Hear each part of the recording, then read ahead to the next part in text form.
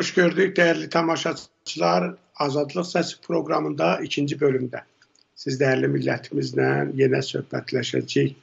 Güclü Azərbaycan və uçuruma gedən İran. Bu gerçəkdir. Azərbaycan getdikcə güclənir. Azərbaycan dövləti, dövlətçiliyi onun qurduğu bütün o altyapı, proseslər, ciddi sərmayələrin cəzb olunması, o projələrin, proseslərin aparılması, Azərbaycana olan səfərlərin və görüşlərin Azərbaycan prezidentinin apardığı bütün o fəaliyyətlər, xarici səfərlər və Azərbaycana gələn qonaqlar və yaxud o rəsmi şəxslərin apardığı o fəaliyyətlər və bir sıra projelerin açılışında iştirakları hamısı bunu göstərir ki, Azərbaycan dövlət olaraq necə çiçəklənir, güclənir. Elə Tataristanın da prezidenti Azərbaycanda səfərdə idi, bir sıra müştərək ortaq projelerin açılışında iştirak elədi. Qarabağ bölgəsində, Zəngilanda və bunların hamısı çox önəmlidir. O tərəfdən baxırıq görürük ki, İran adlanan ölkənin o dırnaqarası desək, o avara prezidenti İbrahim Rəisi. Avara deyirəm ona görə ki, o bədbəxtə heç məktub da yazmırlar. Bu xarici deyək ki, hər hansı bir nümayəndə. Onu buraxın. Öz nazirləri, öz deyək ki, o idarə rəisləri ona birbaşa hər hansı bir qozarışı, raportu belə ona birbaşa göndərmirlər. Bunu özümdən demirəm, ha, hakerlər bildirir. Yəni o prezident kimi adam yerinə belə qoyulmur. Keçənlərdə də arvadını da vurdu qoltuğuna deyir, getdi Venezuelaya. Orada arvadı biraz danışdı oradan buradan ki Amerika bizim düşmənimizdir Türklər bizim düşmənimizdir, ərəblər bizim düşmənimizdir, Moğollar bizim düşmənimizdir. Bu düşmənlər hər zaman bizi pis günə qoymaq istəyib, amma bizə başarmayıbdı. İmkan verməmişik dilimizi, mədəniyyətimizi dəyişək. Özləri də o gündədir. Səhərdən axşama deyirlər hicab belə gəldi. O elə getdi. Nə bilim Quran belə gəldi. Ayə belə getdi. Filan şey elə getdi. Amma yenə də deyirlər ki, biz heç nəyimizi dəyişməmişik. Dilin 63% də ərəbcədir. Deməyim odur ki, biz İran adlanan ölkədən danışanda uçuruma gedən, suğuta gedən, başı aşağı gedən bir prosesin necə deyirlər şahidiyik. Və onlar yanlarında bizə də o ipi bağlayıb deyir, istəyirlər ki, ayağımızı sürüsünlər o dəriyə. Bizi də özləri ilə birlikdə necə ki bu 100 ildə apardılar. Həm bizə düşmən deyirlər, həm də bunu eləyirlər. Sözümün canı bu ki, biz o hansı proseslərdə məsələyə necə baxmalıyıq? Verilişin birinci bölməsində bunun deyir altını çizərək dedim. Bunu çox önəmlidir dostlar. Dəyərli millətimiz, dəyərli tamaşaçılar, özəlliklə içəridə olan milli fəallar. Bu çox önəmlidir. Biz məsələlərimizi hansı gözlə baxmalıyıq? Sayın Çingiz bəy də bu konuda birinci bölümdə bir sıra fikirlərini ifadə elədi. Çingiz bəy xoş gördük. Çox təşəkkür edirəm. Mən bir giriş elədim, çünki bu girişi eləmədən deyir olmur. Azərbaycan prezidenti Azərbaycanda gedən bəzi o ictimai siyasi proseslər, iqtisadi proseslər, bir sıra görüşlər, diplomatik fəaliyyətlər hamısına baxanda biz görürük ki, çiçəklənən bir Azərbaycandan söhbət gedir.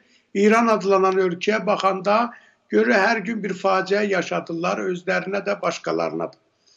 Keçənlərdə də bu, yəni dünənləri də şənbə Ərəbistanın Xarici İşlər Naziri İrana getdi. Orada da istədilər o Qasım Süleymanı terroristin şəklinin yanında bu Ərəbistanın Xarici İşlər Naziri ortaq mətbuat konfransı keçirsin və onlar imtina elədilər. Buna bir müqayisə gətirəndə biz deyə bilərik ki, artıq bu İran adlanan ölkəni qurtarmaq çox da asan da olmayacaq. Çünki Amerikada bəzi deyir yaşıl işıqlar yandırır İrana. Necə baxırsınız? Biraz həm Azərbaycanın ümumiyyətlə o gedən proseslərini biraz danışsaq, həm də İranın nə görürük biz? Buyurun. Evet, teşekkür ederim. Azerbaycan artık bir inkişaf yolu özü için müəyyənləşdiribdir və bu inkişaf yolunu davam etdirir. Düzdür. Mane, maneçiliklərlə qarşılaşır, Ermənistan maneçiliyi, Rusun maneçiliyi, İranın maneçiliyi. Bu maneçiliklərlə qarşılaşsa da, bu maneçiliklərə e, bəlli ölçüdə enerji xərcləmək məcburiyyətində qalsa da, Azər Azərbaycan, Azərbaycan Cümhuriyyəti artıq bir inkişaf yolunu tutub və gedir. Və bunu saxlamaq mümkün deyil. Bunu saxlamaq mümkün deyil. Özəlliklə də özəlliklə də e, yəni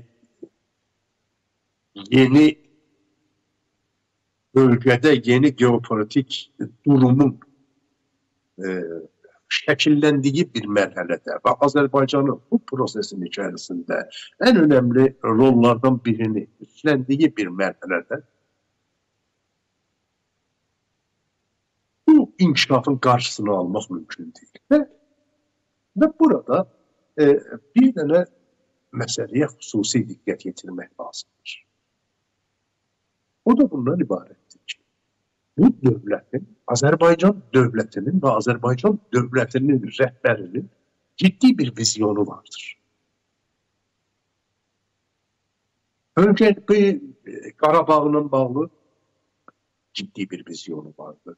Bölgədə enerjinin nəqli ilə bağlı, nəqliyyatı ilə bağlı ciddi bir vizyonu vardır.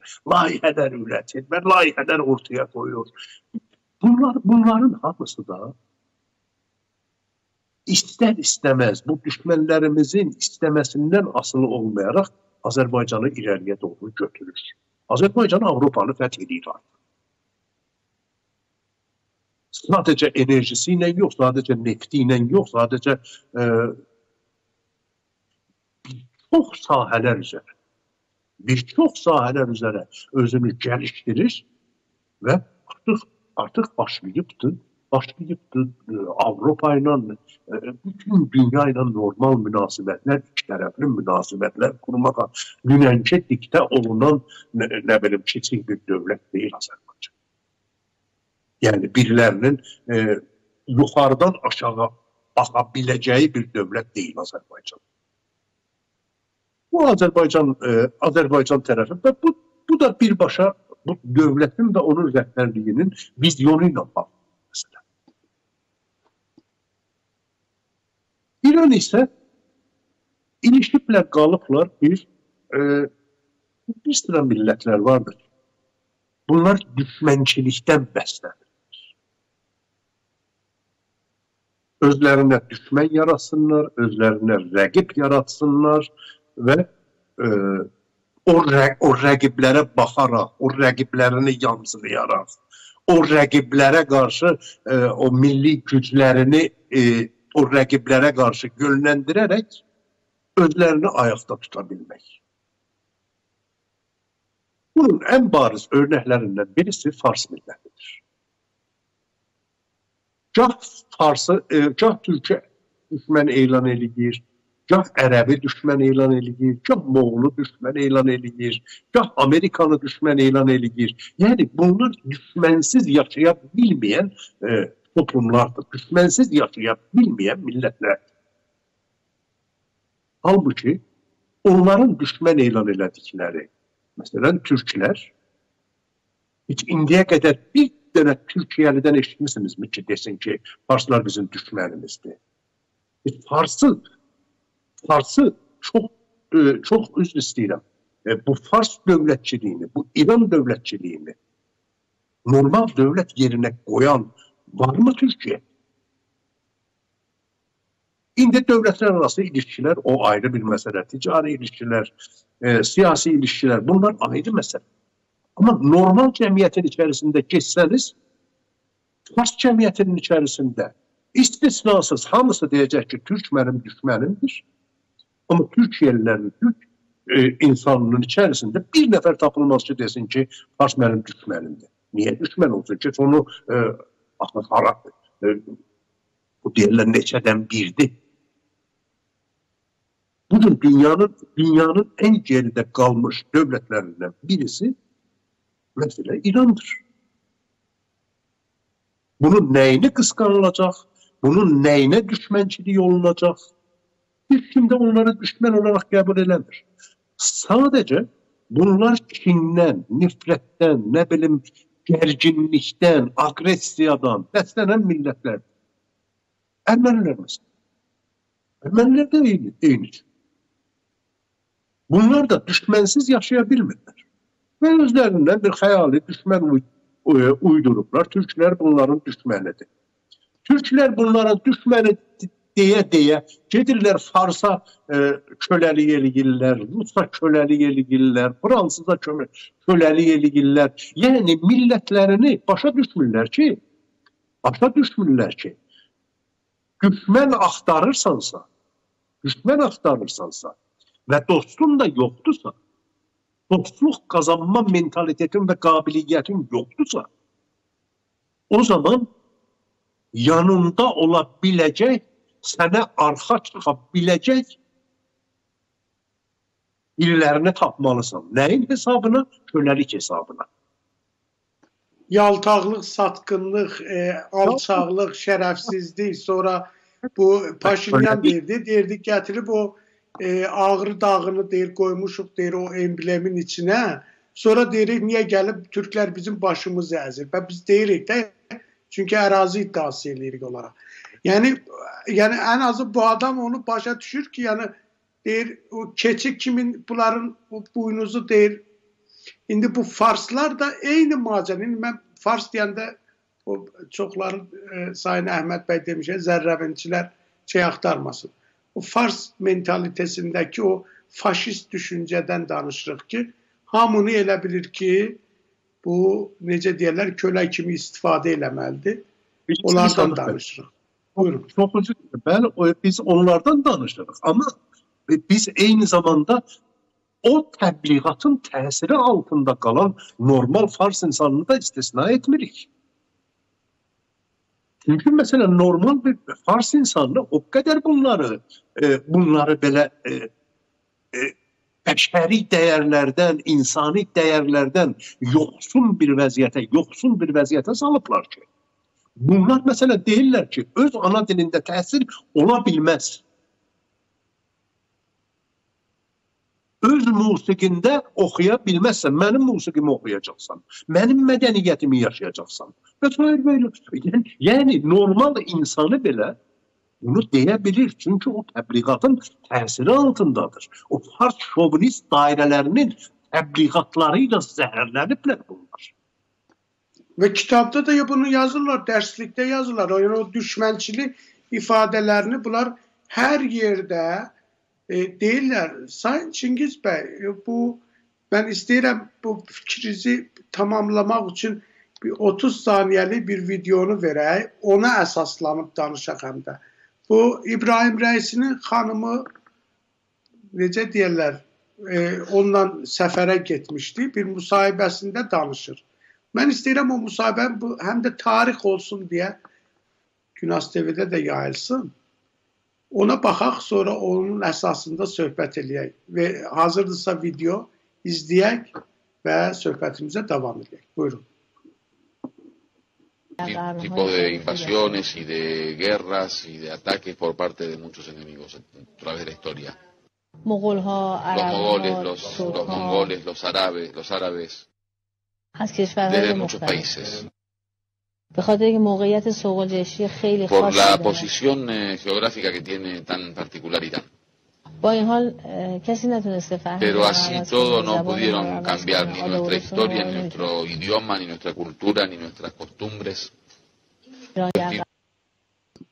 بله Bu adam Sayın Çingiz Bey utanmadan değil, esirler boyu değil İran'ın çoğulu düşmanları olup Amma hansı İran, hardadır o, nə tər olub o İran, coğrafi olaraq hansı idi, nəyə deyirlər İran? Bu da bəllidir. Hələ özlərinə müəyyənləşməyib ha. İran fərhəngi, İran siyasi, İran nə bilim nə heç bilmirlər. Bunlar hansındandılar? Özləri neçədən birdir?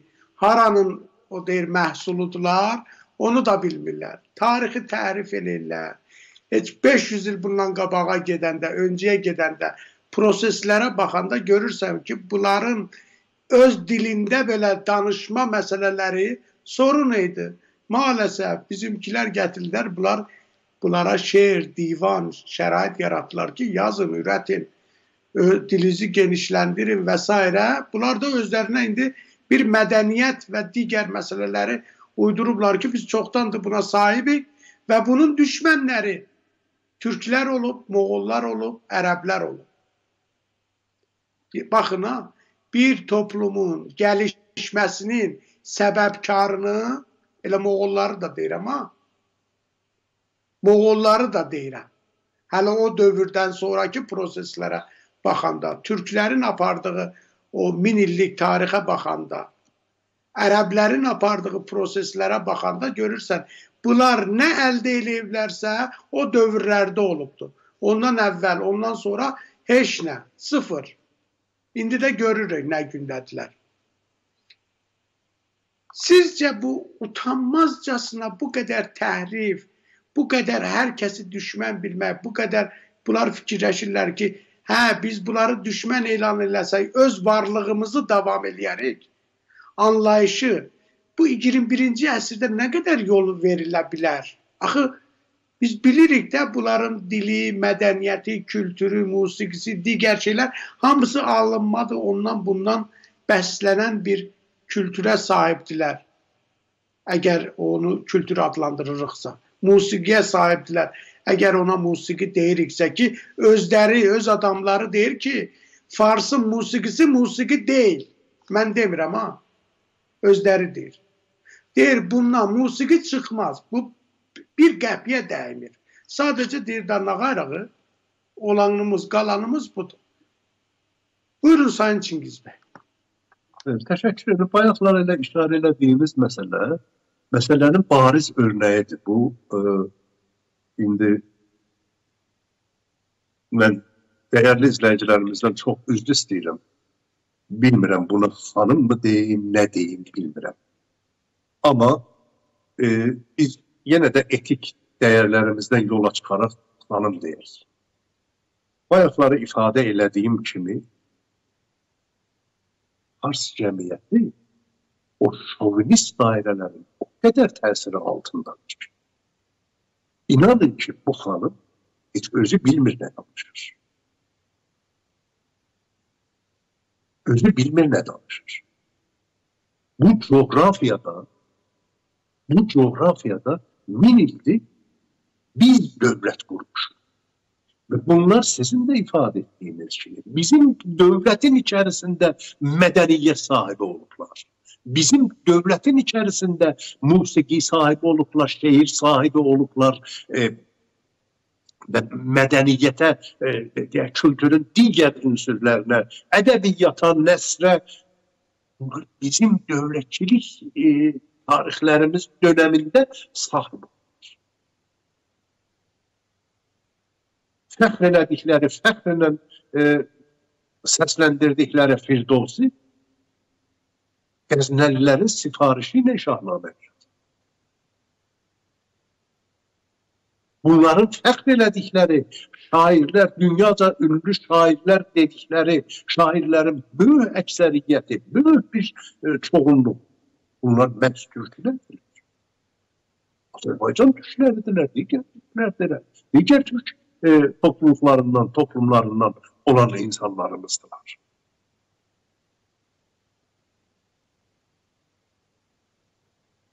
Çağdaş anlamda məktəbi, mədrəsəni Azərbaycan türkləri getiribdi bu coğrafiyada e, yerləşdiribdi ilk dəfə çağdaş siyasi mədəniyyəti, çağdaş siyasi e, düşüncələri, çağdaş siyasi e, gəlişimləri, fikirləri məhz Azərbaycan türkləri Türk Türkiyənin də təsiri ilə, Quzey Azərbaycanın da təsiri ilə e, bu coğrafiyaya daxil ediblər və bunlar bizləri sadəcə təkrarlayıblar. Bütün bunlar, bütün bunlar e, göz önündəyikən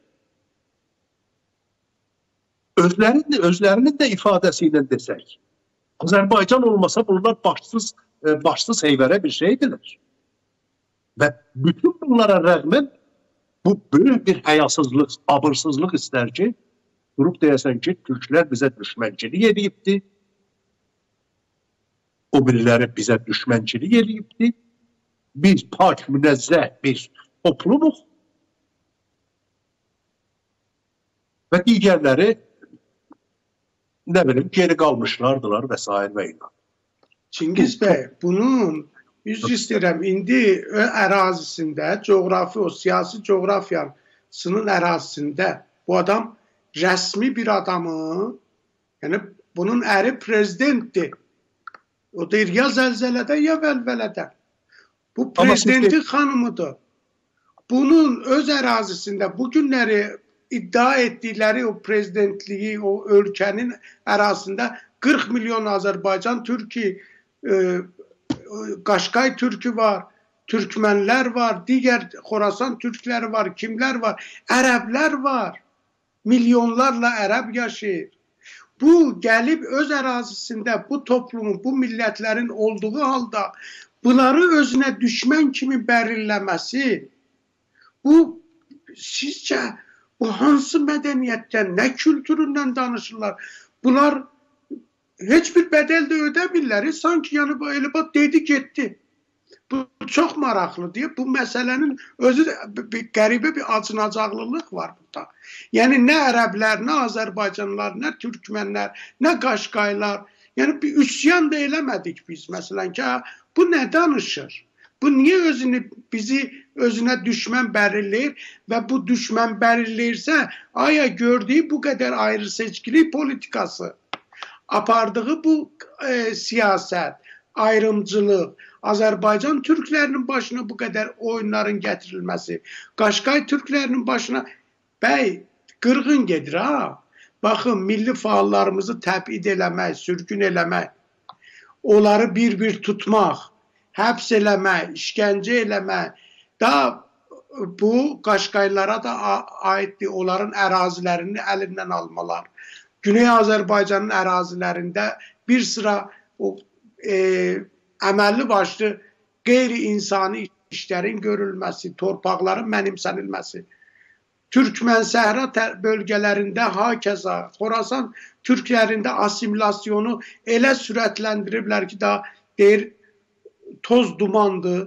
Bütün bunları eləyən bu faşisti cəryanlar, bu qruplar, bu siyasətin içində yenə də o necə deyirlər, açıq, aydın gedirlər xarici televizyonlarda da deyirlər ki, bunlar bizə düşməndir və biz hələ də bunlara susuruqmu, nə qayırırıq biz? Bir də onu danışaq. Buyurun. İşte bu e, yenə təkrar edirəm, dırnaq arasındakı bu xanımın ifadələri açıq bir şəkildə rasizmin, irqçiliyin və nefrət və kin hissinin dövlət səviyyəsində, dövlət siyasətində çevrilmiş halıdır. Biz bunu zaman-zaman ifadə eləyəndə hətta öz insanımız belə e, çox inanmaq istəmir, çox e, üzərində durmaq istəmir və e, deyirlər ki, aynə bu, bu, bu din dövlətidir, nə bilim, e, filandır, behmandır, özəlliklə e, e, Azərbaycan hududlarından kənarda yaşayan Azərbaycanlılarımız, Güney Azərbaycan hududlarından kənarda yaşayan Azərbaycanlılarımız bu məsələdə tam olaraq İslam Cumhuriyyətinin mahiyyətini e, dərk eləməkdə çətinlik çəkirlər. Bu e, dövlət səviyyəsində irqçiliyin işləndiyi, irqçiliyin, rasizmin dövlət siyasətinə çevrildiyi, e, çevrildiyinin açıq ifadəsidir, açıq örnəyidir. Qaldı, qaldı indi bunun e,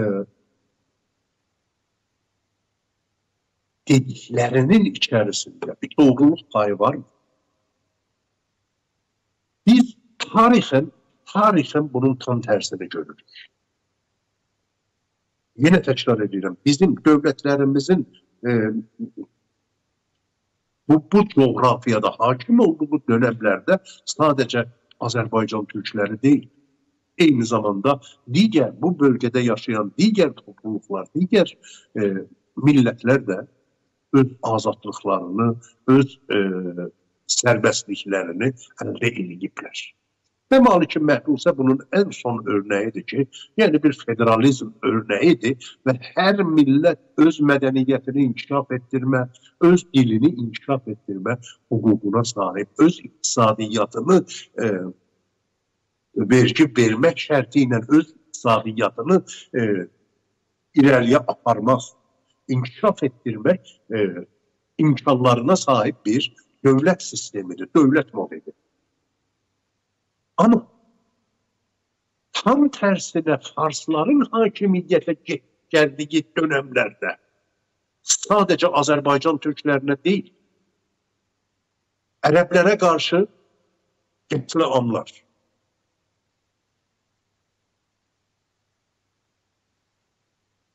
Azərbaycan türklərinə qarşı qətliamlar. Qaşqay türklərinə qarşı qətliamlar son proseslərdə biz e, bəlu, bəluçlara qarşı e, Fars dövlətçiliyinin işlədiyi zülmü və cinayətin e, dərəcəsini bütün dünyanın gözü önündə baş verir.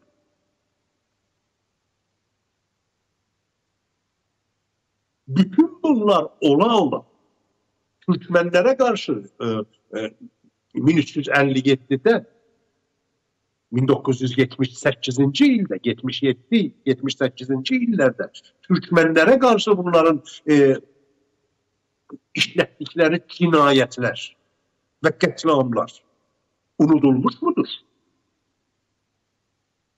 Biz unutmamışıq.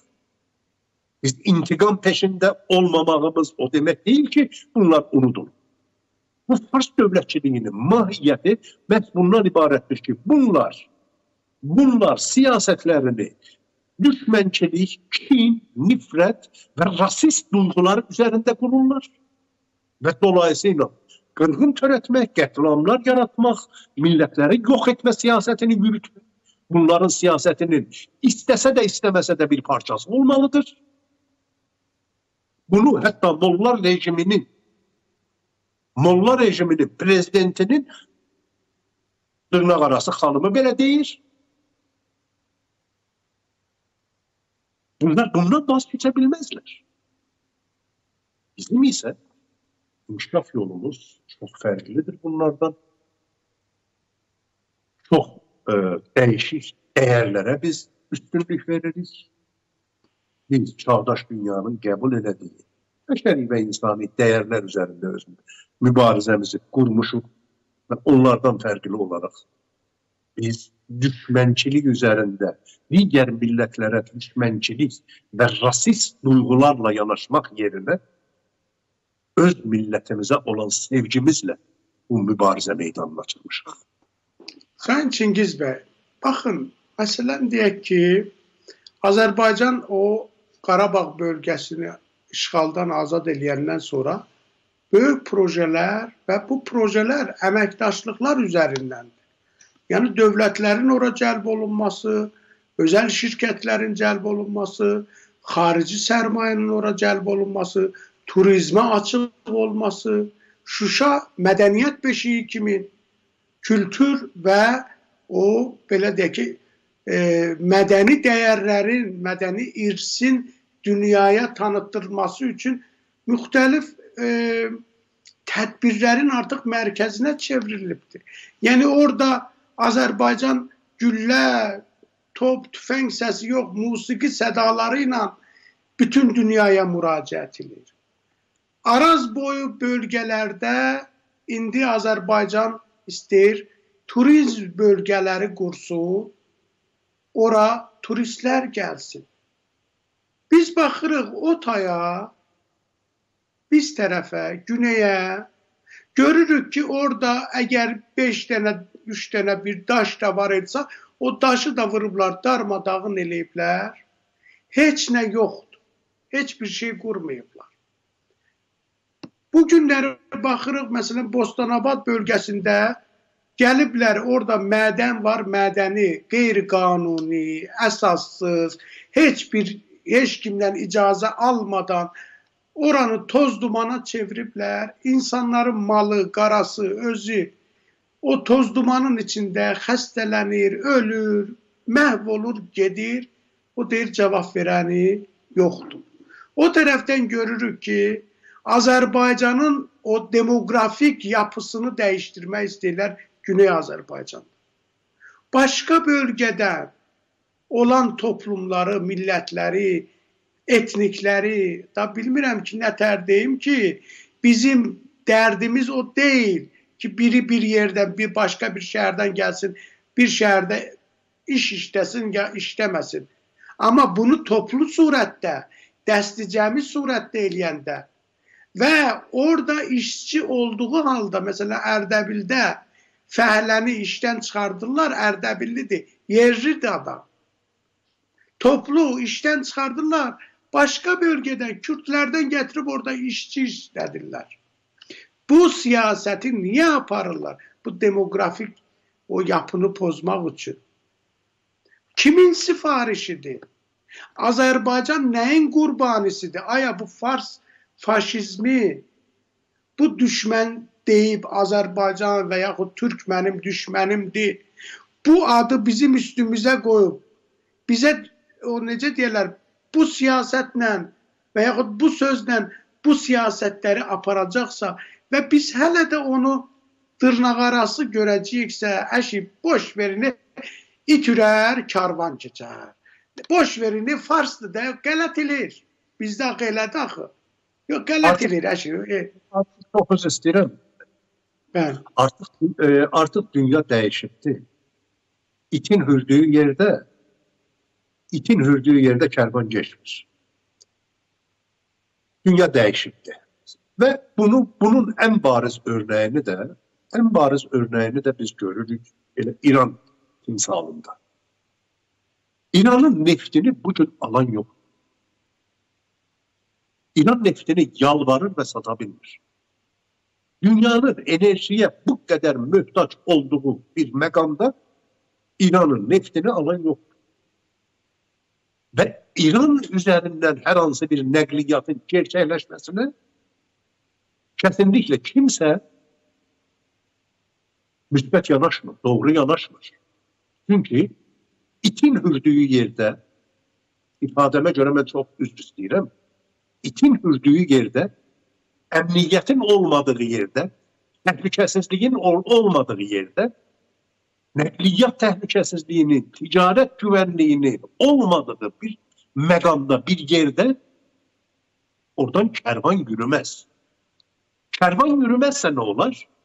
Kervan yürümezse sadece ve sadece yerin altından çıkartabildiğin e, e, e, ham mallarla yalvara yalvar ucuz qiymətlere sata sata ölkəni idarə elə eləməyə çalışarsan və nəticəsi də bugün İranın düşdüyü vəziyyətdir.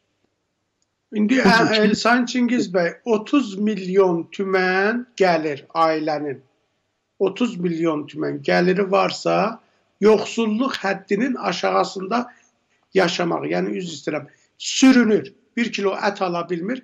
Ət tükətimi Güney Azərbaycanda, Təbrizdə, Ərdəbildə, digər bölgədə ki, bizim məsələn kənd təsərrüfatı, ət məhsulları gərək orada bol ola da, nəinki özlərini yeməkləri üçün və yaxud e, tükətimi üçün, həm də ixracata ola. Ama o deyir əhali tapır ki, bitki ət yesin. Buyurun.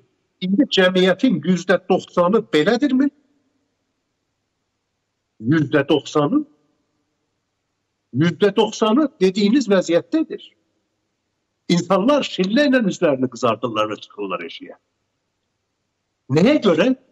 Çünki bunlar bunlar alternatif gəlirlər üretməyə və çox üzr istəyirəm e, o e, zekaları yetmir, vizyonları yoktur, gözleri görmür, dünyanın değişimi, değişimini hissediye bilmirlər.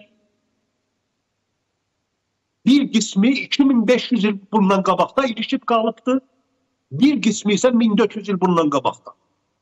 İlişiblər, qalıblar orada və bütün cəmiyyəti də buna məhkum eləməyə çalışırlar. Birisi 2500 il bundan qabağa məhkum eləməyə çalışır, birisi 1400 il bundan qabağa məhkum eləməyə çalışır. Dolayısıyla bayaqları çox doğru bir metodla e, e, apardınız o sualları bir e, müqayisəvi bir şəkildə. Bugün Azərbaycan enerjinin e, enerjinin ən ciddi ixracatçılarından birisidir. Və eyni zamanda enerjinin nəqliyyatında da çox önəmli bir e, konuma sahib bir e, dövlətdir. Amma amma bu dövlət bilir ki, o enerji ilə uzun müddət Azərbaycanı e, yeraltından gəlinən e, əldə edilən sərvətlərlə e, uzun müddət Azərbaycanı idarə eləmək mümkün deyildir. Dolayısıyla alternativ gəlir qaynaqları üretməlisən. Və bu alternativ gəlir qaynaqlarını üretmək istərkən də gəlir deyir ki, ay qonşu, gəl sən də qazan. Deyir ki, sənin ağlın çatmır. Altını proje irəli sürür, deyir ki, sənin ağlın çatmır. Amma bax mən səni də düşünürəm. Gəl qazan. İmtina eləyirlər. Bunun səbəbi səbəbi nədən ibarətdir? Səbəbi budur ki, qonşularına hansı qonşusu ilə bunun normal münasibətləri var? İndi e, indi o e, uzaq yerlərdən bunlara bir tapşırıqlar gəlibdi ki, gedin Ərəbistanla nə bilim e, münasibətlərinizi düzəldin. E, qonşu ölkələrə yalvarırlar, yaxarırlar ki, sən Allah gəlin e, biraz münasibətləri düzəldir. Hansı qonşusu ilə normal münasibəti var ki? Normal münasibətlərinin e, olmamasının səbəbi nədən ibarətdir? Səbəbi ondan ibarətdir ki, bu bu Dönaras xanımın dediyi. Hamını özlərinə düşmək yoxdur. İndi deyirlər ki, Sayın Çingiz bəy, üzr istəyirəm. Deyirlər ki, baxın da Azərbaycan deyirik, deyir ki, turizmi genişləndirərim, kommunikasiyaları, yəni o həm nəq, o həm yol, həm dəmir yolu, həm qara yol açaq, müştərək e, əməkdaşlıqlar iqtisadi dünyanın bu başından o başına mal göndərək, mal gətirək. Hər halda yol həm də bir mədəniyyətdir. Təbriz kimi şəhər mədəniyyət beşiyi olub. Çünki orada hər zaman o deyir İpək yolunun e, gəliş gedişi olub.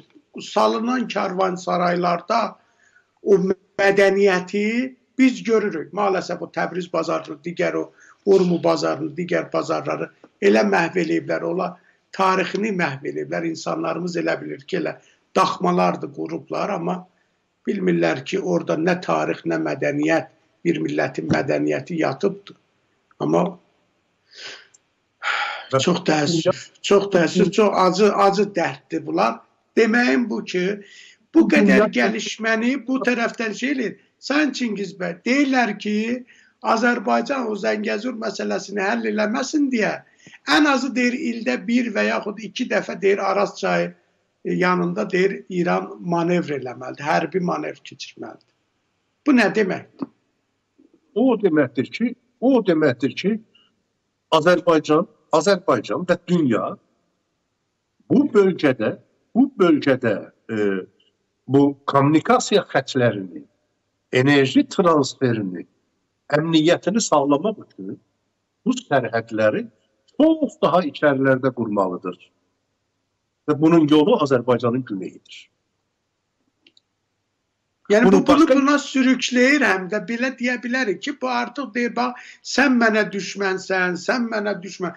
Bir dəfə, iki dəfə, üç dəfə, beş dəfə, bir il, on il, yüz il artıq bu o deyir Təbrizin də bir şilləsi var da, geci tezi var da bu işin. Təbriz yadınızdadır o. O standarın qulağının dibinə bir şilləni vurdular. E? Elə bir şaqqıltı ilə bir şillə də vura bilər. Çünki Təbrizi Azərbaycansızlaşdırırlar. Təbrizi boğurlar. Təbrizin kültürünü, mədə. İnanın bunları adam dərdlə deyir. O Təbriz tək başına bir dünyadır. Amma o Təbrizi görün, o deyir əzib-əzib suyunu necə çıxardıblar ki? Onun içində indi bu dəqiqə işsiz, gücsüz cavanlarımız əsir yesir qalıbdı. Təbrizi Azərbaycansız Azərbaycansızlaşdıran bu faşist rejimi fikirləşir ki, mən bunu davam eləyəcəyəm və elə uğurda qazanacağam, ya bu düşmən düşmən deyə deyə bu şilləni alacaq. Sadəcə sa sadəcə sadəcə o deyir ki, e, məsələ də çox qəti qəti qəbihdir, amma e,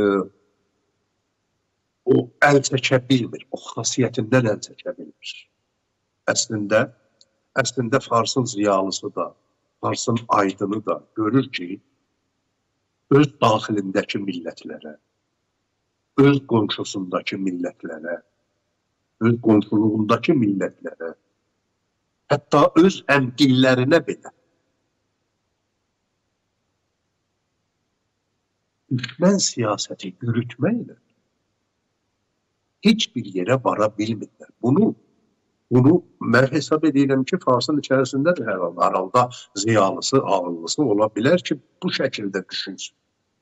Məsələn, erməninin belə içərisindən çıxır o tür ziyalılar ki, deyirlər ki, Türk dünyası ilə, Türklərlə, Azərbaycanlılarla düşmənçilik bizim millətimizə zədər verir.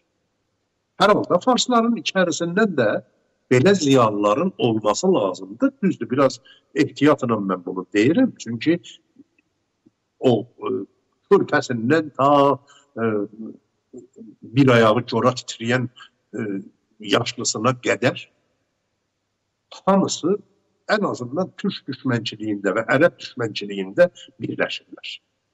Təəssüflər olsun ki. Amma yenə də ümidvar olmaqda heç bir e, problem yoxdur. Bunlar qıtarırlar bu milləti Hacı. Fars millətinin özünün də artıq sonu gəlir. Çünki tarixən bu belə olur. Tarixən bu belə olur. Azərbaycanın Azərbaycanın yüksəlişi başladığında Fars çöküşə məhkumdur. Artıq Azərbaycanın yüksəlişi başlayıb. Və bu fars istər-istəməz biz sadəcə biz sadəcə özdə sadəcə özümüzü qurtarmırıq. Özümüzü qurtarmaq üçün projelər ürətmirik. Biz eyni zamanda bu coğrafiyada yaşayan digər topluluklar üçün də qurtuluş örnəkləri və qurtuluş modelləri ortaya qoyuruq. Bu da diqqət yetirilməsi gereken çok önemli bir meseledir. Ve yolumuzun yolumuzun e, en önemli mesele məhz bundan ibarətdir ki, artıq artıq Azərbaycan türkünün və bu bölgədə yaşayan digər millətlərin Farsla bərabər, Farsın e, şovinist, rasist düşüncələrini daşıyan insanlarla bərabər hər hansı bir yerə getməsi mümkün deyildir. Yol yaxınkən hər kəs öz qurtuluşunu təmin etmək məcburiyyətindədir. Və o mərhələ Təşəkkürlər. Sayın Çingiz bəy, minnətdaram. Çox maraqlı söhbət oldu. Düşünürəm ki, əlbəttə ki, bir çox suallar var idi, qaldı. Elə bu Ərəbistanın Xariclər Nazirinin səfəri ilə bağlı ki, gördünüz də çalışdılar o Qasım Süleymanın tablosunun, nəysə də o şəklinin altında e, Ərəbistanın bayrağını qoysunlar. Amma Ərəbistan buna qəti yox dedi və e, o konfrans mətbuatı konfransın otağını dəyişdirdi. İmkan vermədi ki, o e, belə deyək də onların təhqirləri davam eləsin. Və hesab edirəm ki, bu bu da bir ciddi örnəkdir. E, ümumiyyətlə istəyirsiniz bir 30 saniyə, 1 dəqiqə bununla bağlı fikriniz deyin, sonra yekunlaşdıraq. Çok güzel, e, çok güzel bir e, mevzuya siz işare ediniz artık. E, dünya artık e, terörizm ve onun örnekleriyle beslenmiş. Dolayısıyla Kasım Süleyman'ı bölgede, bölgede ve e, bütün dünyada e, e, terörizmi ən ciddi şəkildə təşkilatlandıran, dəstəkləyən və terrorizm üçün e, bütün e, imkanları səfərbər etdirən bir terrorist başıdır. Və bu dövlət terroristləri ilə fərq edir. Bundan artıq mən nə deyim ki? Və ən azı biz bilirik ki, artıq ərəb dünyası da, türk dünyası da bunun fərqindədir. Azərbaycan prezidenti, Türkiyə prezidenti bu bölgədə kimin nə işlə məşğul olduğunu açıq şəkildə ortaya qoyur. Azərbaycan artıq İran adlanan ölkənin vətəndaşlarının aeroportda, hava limanında viza almasını belə məhdudlaşdırmaq zorunda qaldı. Ona baxmayaraq ki, İran adlanan ölkənin vətəndaşı gəlirdi təyyarə ilə Azərbaycana, Bakıya, pasportunu göstərirdi. Orada o necə deyirlər, rahat şəkildə viza işləmləri də görülürdü və bir neçə müddətli Azərbaycanı gəzə bilirdi. Amma görün, bu İran adlanan ölkə nə hoqqalar çıxardır. O tərəfdən də Ərəbistanı deyirdi, yerlə yeksan eləyəcəm. Bu günləri Ərəbistanın bir tikə çörəyinə, bir sıra siyasətlərinə möhtacdır və yalvar yaxar eləyirlər, amma o bayaqları Sayın Çingiz bəy dedi ki, məsələ də qəbihdir. O qəbihliyindən də əl çəkmir. Yəni o, o pisliklərindən də əl çəkmir, amma dünya da cevabını verir. Sayın Çingiz Bey başka olaylar da var. O olayları sonra tartışacağıq. Amerika, İran adlanan ülkeyle apardığı bazı təmaslar var, bazı oyunlar var. Bunun arxa pərdəsində Fransanın olması qətidir. Bunu növbəti verilişlərdə ümid edirəm ki, sizin də sağlığınız yerində olsun. Danışaq. E, mən çox təşəkkür edirəm. Mən ümid etdiyim ümid etdiyim məqam məhz bundan ibarətdir ki, demokratik dünya cəmiyyəti e, dünyanın dəyərlərini ayaq altında ayaq altına sərən İran İslam Cümhuriyyəti ilə müzakirələri heç cürə xoş qəbul eləmir. Hə. Çox təşəkkür edirəm dəyərli millətimiz, dəyərli tamaşaçılar. Sizə də təşəkkür edirəm. Yayın otağındakı olan dostlarımıza da zəhmət çəkdilər bizimlə birlikdə çalışdıq ki, bu verilişləri sizlə paylaşaq. Hesab edirəm ki, önəmli məsələlərdir danışdıqlarımız. İçimizdə barındırılmış, yaradılmış süni şəkildə problemlər, sorunlar, çətinliklər üzə çıxmalıdır, üzə çıxarılmalıyıq, danışmalıyıq, bütün dünyaya danışmalıyıq. Ona görə də siz dəyərli millətimizə Güney Azərbaycanda, müxtəlif şəhərlərdə iş düşür. Əlinizdə də imkan var, bir dənə telefondur, bir şəkil, bir video. O sorunları gündəmə gətirmək sosial mediada boldur. Yayın, qoyun o dərdlərə sahiblənən insanlarımız da meydana çıxsın. Dərdlər yayılanda bilinir harda dərd var. Onun da dərmanı tapılacaq. Ona görə də qətiyyən çəkinməyin. Bizə olan düşmənçiliklər nədirsə, o siyasətlər nədirsə, siz də onunla bağlı bilgilərinizi paylaşın. Biz də bu bilgilər əsasında müxtəlif verilişlər hazırlayıb siz dəyərli millətimizə sunmağa çalışacağıq. Hər halda bir daha təşəkkür edirəm Sayın Çingiz və siz dəyərli tamaşaçılara, yayın otağındakı dostlarımıza və hamınızı Tanrıya tapşırıb sağ olun deyə. Sağ olun.